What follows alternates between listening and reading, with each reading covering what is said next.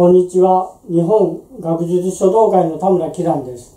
今日も単行者の前後百科から前後を選び、その解説文を読んでから後でその前後を半紙に筆で書いていきます。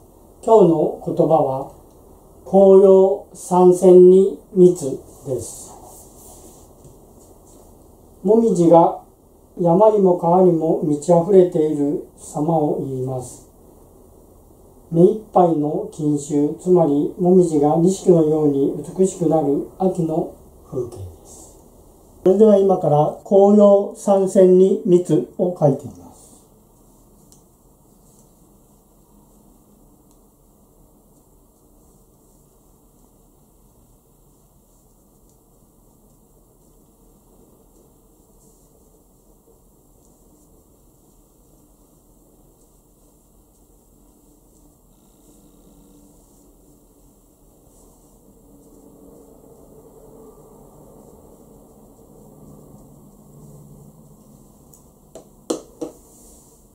最後までご覧いただきありがとうございました。